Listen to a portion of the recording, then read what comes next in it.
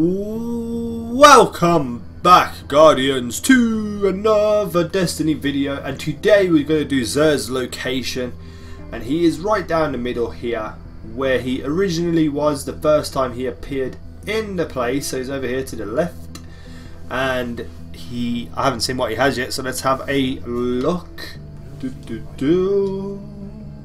So we have the armamentarium, carry an additional grenade, carry more ammo for heavy ammo, heavy weapons, and carry more for special weapons.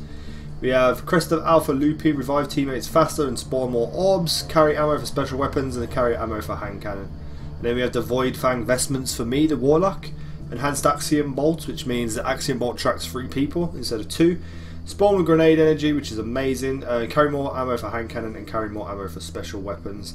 We have the Plan C Fusion, a rifle, which I have fully maxed out, which is an absolute animal of a gun.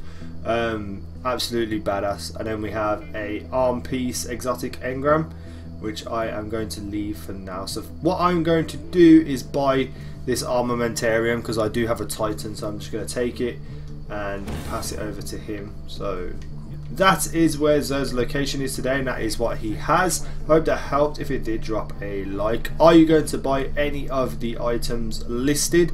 Let me know which ones you want, especially if it's the Plan C. The Plan C is amazing. I'm actually going to put up a weapon review on it later for you guys. So make sure you come back and check this, check that out anyway.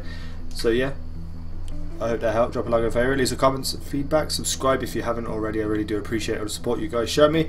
And I will see you in the next video.